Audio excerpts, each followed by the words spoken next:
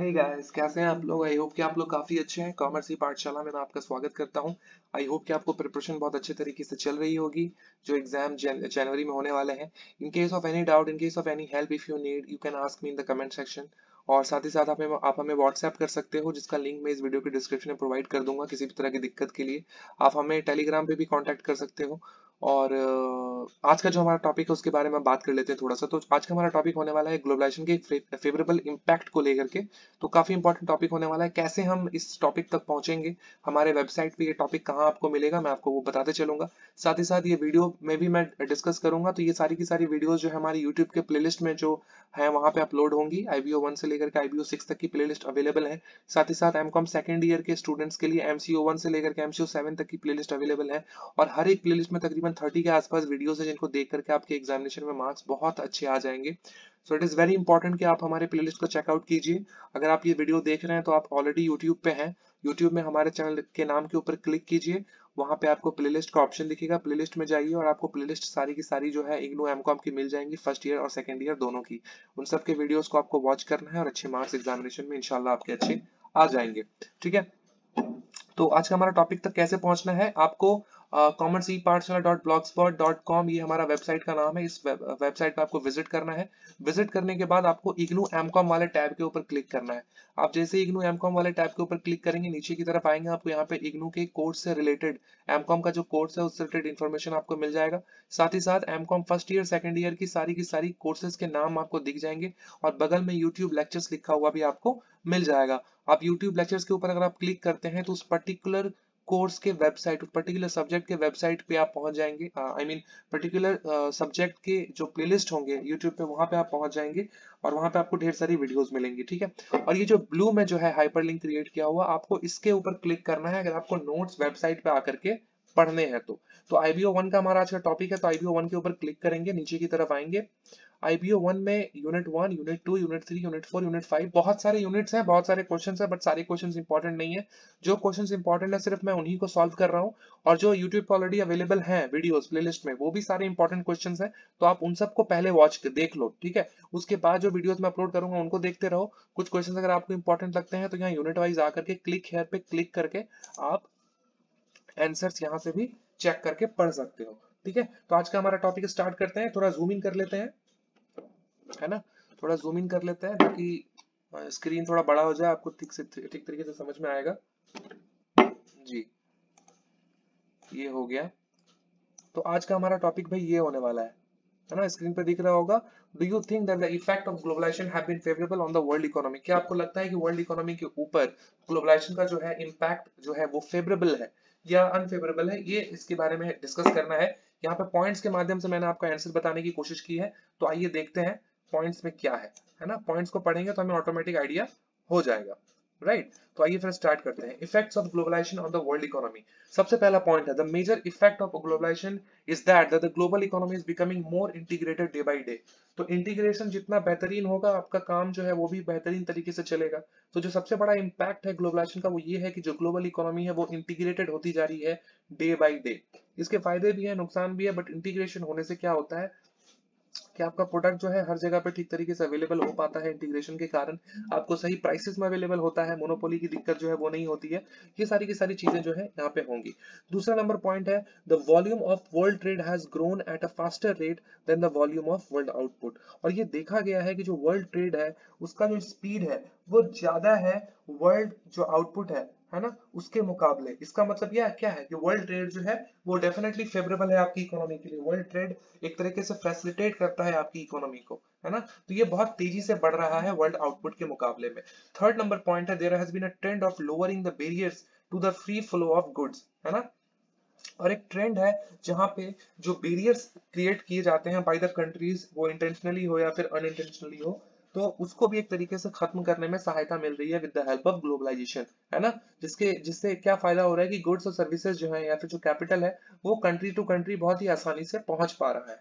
अब बेरियर्स की अगर बात करें तो थोड़ा सा मैं एग्जांपल दे दूँ। सपोज़ इंडिया में कोई ऐसा लॉ पास किया गया कि कोई एक पर्टिकुलर कंपनी यहाँ पे काम नहीं कर सकती। कोई एक सपोज़ कोई कंट्री कोई कंपनी है जो कि इंडिया में किसी एक पर्टिकुलर प्रोडक्ट को बेचती है। अब इंडिया ने अगर उस प्रोडक्ट के ऊपर बैन लगा दिया तो वो कंपनी इंडिया में काम कर ही नहीं पाएगी राइट तो यहाँ पे ये बैरियर क्रिएट हो गया।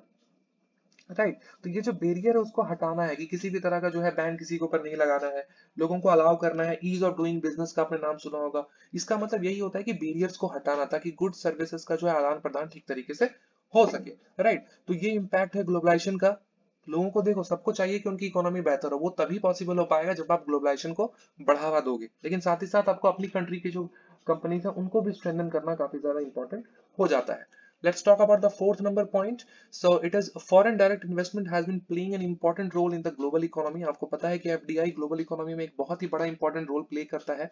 In order to become competitive, अगर आपको competitive बनना है, companies have started investing in overseas operations. अगर आपको competitive बनना है, तो आपको वहाँ बाहर की कंपनीज़ में इन्वेस्टमेंट करना पड़ेगा और ये तभी पॉसिबल हो पाएगा जब ग्लोबलाइजेशन होगा। तो ग्लोबलाइजेशन का एक पॉजिटिव इम्पैक्ट ये भी है कि हम अपने पैसों को बाहर इन्वेस्ट कर रहे हैं। इंडिया में तो इन्वेस्ट कर ही रहे हैं। आपको स्टार्टअप का नाम पता होगा इंडिया में बहुत सारे स्टार्टअप ऐसे खुले हैं जहाँ पे टाटास गिरलास इन लोगों ने इन्वेस्टमेंट करा है। और इनका इन्वेस्टमेंट जो है वो इंडिया के बाहर भी है। उसी तरीके से बाहर की जो, या जो बिलेनियर्स हैं, वो भी इंडिया में इन्वेस्ट करते हैं। तो इससे क्या होता है कि जो फंड है, जो कैपिटल है, उसका आदान प्रदान ठीक तरीके से हो पाता है। Right right? तो ये एक फ़ायदा है चौथा नंबर पॉइंट पांचवा नंबर पॉइंट है। Global operations have led to the emergence of multilateral trading system global operations के कारण जो है मल्टीलैटरल ट्रेडिंग सिस्टम जो है क्रिएट हुआ है जिसके कारण से जो ट्रेडिंग है वो बहुत ही आसान हो गई है। है ना? करेंसीज के बीच में ट्रेडिंग आपको पता है कि एक्सचेंज वैल्यू के कारण बहुत ज़्यादा दिक्कत होती है बट एक ऐसा ट्रेडिंग सिस्टम क्रिएट कर लिया गया है।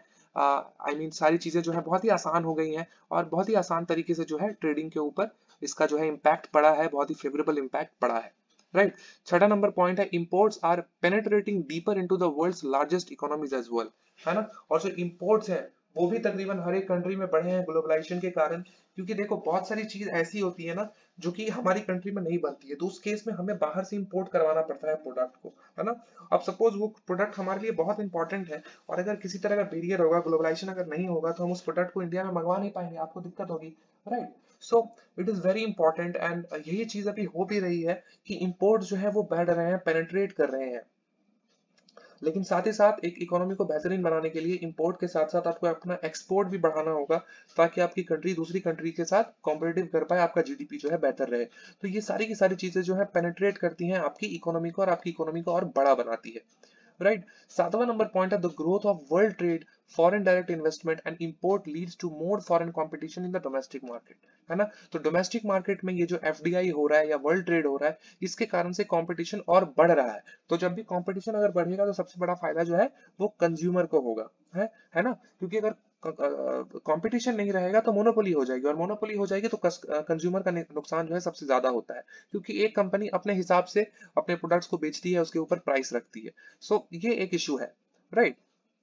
तो ये बात हो गई। सातवें नंबर पॉइंट के ऊपर ध्यान देते हैं। In order to compete with the foreign players domestic firms are required to enhance the production and distribution capabilities सही बात है, बहुत इंपॉर्टेंट बात है।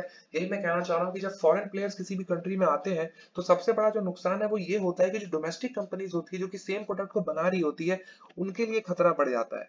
तो खतरा जब बढ़ेगा तो उस टाइम पे गवर्नमेंट यहाँ पे हेल्प करती है by way of giving subsidies जिससे वो जो है अपने प्रोडक्शन कैपेसिटी को बढ़ा पाए, या वो जो है कॉम्पिटिट कम्पीट कर पाए उन फॉरन प्लेयर्स के साथ में।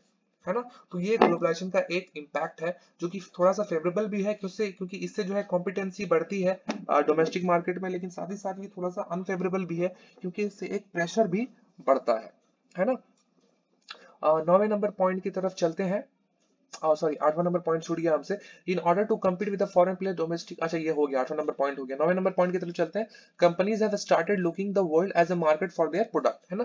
पहले क्या होता था कि एक व्यक्ति जब प्रोडक्ट बनाता था कोई कंपनी जब प्रोडक्ट बनाती तो वो सोचती थी कि हमारा मार्केट जो है छोटा सा है। जैसे कि मैं अगर बंगाल से हूँ तो सपोज़ उसने सोचा कि मेरा मार्केट सिर्फ़ बंगाल है बट धीरे धीरे उसको पता चला कि उसकी जो प्रोडक्ट है उसका पोटेंशियली वो इतना अच्छा है कि वो जो है इंडिया में बहुत सारे स्टेट्स में वो बिक सकता है। तो उसने अपने बिज़नेस को एक्सपेंड कर दिया। वो उसने अपने बिज़नेस को हर एक जगह पे एक्सपेंड किया तो उसके प्रोडक्ट की जो है डिमांड और ज़्यादा बढ़ गई, है ना? और बाद में क्या हुआ? जब ग्लोबलाइजेशन हुआ तो ये पता चला कि हमारे प्रोडक्ट की डिमांड सिर्फ़ इंडिया में नहीं इंडिया के बाहर भी है। है ना? तो इसका एक फेवरेबल इम्पैक्ट होता है कि आप अपने प्रोडक्ट को इंडिया के बाहर लेकर के जा सकते हो और वहाँ सेल कर सकते हो। अगर वो लोग इंटरेस्टेड होंगे तो डेफिनेटली आपकी जो कंपनी है और साथ ही साथ जो इंडियन इकोनॉमी है, उसको भी एक तरीके से बूस्ट मिलेगा, है ना? तो कंपनी जो है एक तरीके से स्टार्ट उन्होंने स्टार्ट किया है पूरे वर्ल्ड मार्केट को अपने प्रोडक्ट को बेचने के लिए मतलब उस तरीके से देखना कि वर्ल्ड मार्केट में भी हमारी भाई कोई जगह है। राइट दसवें नंबर पॉइंट के बारे में बात करते हैं। Companies have started dispersing their manufacturing marketing and research facilities around the globe where the cost and skill conditions are most favourable तो ये बहुत ही कॉमन हो गया। है अभी आपको पता है कि इंडिया में बहुत सारे इन्वेस्टमेंट आए हैं। सैमसंग ने कहा कि हम भाई गुड़गांव में आई मीन गाजियाबाद में आई गेस अपनी फैक्ट्री लगाएँगे जहाँ पे पाँच हज़ार लोगों को जॉब मिलेगा। लेकिन सबसे बड़ा बात है कि वो हमारे देश में क्यों आ रहे हैं? वो इसलिए आ रहे हैं क्योंकि हमारे यहाँ पे उनको बहुत ही सस्ते में लेबर मिल जाएगा, है ना? लेबर कॉस्ट बहुत ही फेवरेबल है। तो हमें भी उन सारी कंट्रीज़ में इन्वेस्ट करना चाहिए जहाँ पे लेबर कॉस्ट फेवरेबल है। इसीलिए बहुत सारी कंपनीज़ क्या कर रही हैं कि अपनी मैन्युफैक्चरिंग यूनिट अपनी मार्केटिंग यूनिट अपनी रिसर्च फैसिलिटीज़ ऐसे ऐसे जगहों पे क्रिएट कर रही हैं जो कि उनके लिए फेवरेबल है। है ना, जहाँ पे उनको कॉस्ट कम पड़ेगा, उनके प्रोडक्शन अच्छे होंगे, है ना? तो ये ग्लोबलाइजेशन का एक इम्पैक्ट है। इससे बहुत सारी कंट्रीज़ को भी अपॉर्चुनिटी मिलती है एफडीआई उनको मिलता है। ग्यारह नंबर पॉइंट है opportunities have been increasing for the firms जो मैंने अभी आपको बात बोली वही एक लाइन में यहाँ लिख दिया गया है। बारहवा नंबर पॉइंट है innovations have started spreading faster है ना? पहले क्या होता था कि इनोवेशन एक जगह पे होता था, उसको स्प्रेड होने में पूरी कंट्री में तकरीबन समय लग जाते थे प्लस वर्ल्ड वाइड होने में तो उसको बहुत ज़्यादा समय लगता था। लेकिन अभी चूँकि बहुत ही चीज़ें इंटीग्रेटेड हो गई हैं इंटरनेट का भी जमाना है, लोगों के पास हर चीज़ अवेलेबल है तो इनो, जो भी इनोवेशन अभी रिसेंट में हुए हैं, वो सब बहुत ही आसानी से स्प्रेड कर जा रहे हैं पूरे वर्ल्ड में। इससे तकरीबन हर एक कंट्री को फ़ायदा हो रहा है, और ये पॉसिबल सिर्फ़ और सिर्फ़ ग्लोबलाइजेशन के कारण ही हो पाया है। Right. So these are the 12 benefits to 12 favorable uh, topics that we have discussed in this particular video. I hope आपको ये वीडियो काफ़ी पसंद आया होगा। पसंद आया तो प्लीज़ लाइक कमेंट और शेयर कर देना। और हाँ हमारे प्लेलिस्ट पे विज़िट करो। वहाँ पे ढेर सारी वीडियोस हैं। उन सबको वॉच करो। इंशाल्लाह आपके एग्ज़ाम्स में बहुत अच्छे मार्क्स आएँगे। साथ ही साथ मैं IGNOU M Com second year के जो टॉपिक्स है वो भी अपलोड करूँगा। और जो बीकॉम के स्टूडेंट्स है वो एग्ज़ाम देने वाले हैं। उनके लिए भी वीडियोस अपलोड होंगी कुछ ही दिनों में। साथ ही साथ जो बीकॉम के जो जिन्होंने अभी हाल में एडमिशन कराया उनको पता है कि उनका जो कोर्स है वो चेंज हो गया। कोर्स का नाम जो है चेंज हुआ है। तो उस कोर्स के नाम से एक नए तरीके से जो है मैं मैं प्लेलिस्ट बनाऊँगा, जहाँ पे आपको ढेर सारी वीडियोस मिलेंगी बीकॉम की नए कोर्सेज के साथ और आप एग्ज़ाम की प्रिपरेशन जो अच्छे तरीके से कर पाओगे। ठीक है? तो मिलते हैं अगले वीडियो में। अपना ख्याल रखो। Bye thank you